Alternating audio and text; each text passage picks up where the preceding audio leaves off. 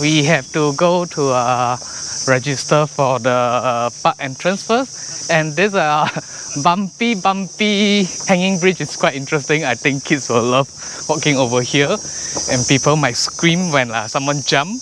Uh, first thing to do is like uh, register for the places, the park that we wanted to go. Then um, we have to pay. It's not free. Malaysian cheaper. Oh, I smell something good. Someone cooking smell very good. Uh, Malaysian is cheaper and the foreigner is like slightly pricey, almost double the price. At the park, there's one cafe, jetty. The office reception is over here. I will need to go over here to make the payment and uh, register for the park visit. Uh, should be go inside here.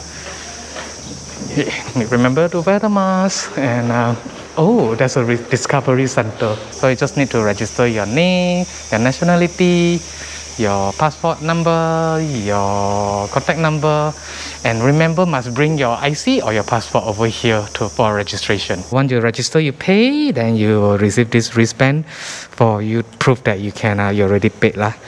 So all these places that are like this one, free of charge, free of charge, free of charge, and then free of charge. So uh, you have to check with them that how much you need to pay for the activity. So all those as uh, you can see the cost, cost, costing, uh, you have to pay.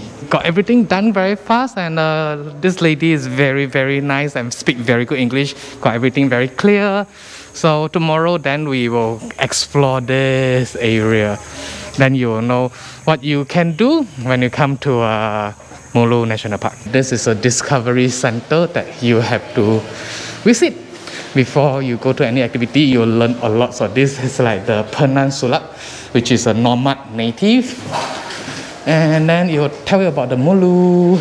It will tell you, show you a lot of photo. Oh, I see naked man. Oh, so most of them are naked, and then uh, but they will sometimes they will wrap with the cloth.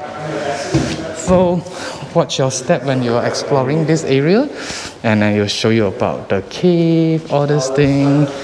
A good place that you should visit and the fossil. You can really see that in the cave if you're lucky enough. Hi. okay so walk around over here. You see this uh, if you are strong enough you have time in Mulu to visit this uh, pinnacle. And then oh wow.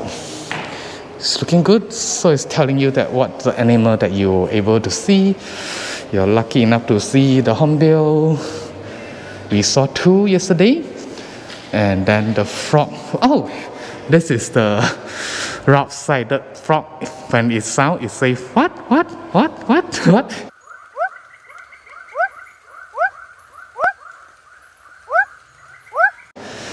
the calling the calling is what what what? And uh, snake that you're able to see and the gecko. Okay so this is why I'm telling you that when you are before going to the park you should come over here. Okay let's go out now sliding door over here then exit to this cafe. Um, the food here I was told that it's very very delicious. There's a very clean toilet right over there with air conditioning. So yep and the souvenir shop for you to buy souvenir postcard. To buy a postcard and then you're actually going to uh, the deer cave. You can drop a postcard in deer cave with a post box. The toilet is in the little hut like this. Is uh look clean. No bad smell. This for the gents. And I guess you can uh, shower. Oh no no shower here. Clean it's a very clean toilet we are at the Mulu Cafe right now we can get beer, you can get uh, wine, rice wine, sake. Um, I would like to let Patricia to try the laksa because you, you already tried. It's good. Good. It's good. Yeah. Yeah. I'm. I'm. I will try more. Okay. Not spicy. Just right. Spicy and fragrant. Mm. Okay. I'm going to give you a try then.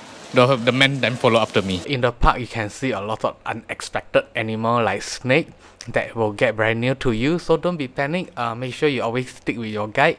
If you are self guide and then uh, just uh, stay away from them. So uh, when you see all these things do take a very nice photo for them nice video of them but uh, try not to harm them. Uh, in case of any uh, insect fly to you just blow away. So this is a stick bug if your eye sharp enough you're able to see that.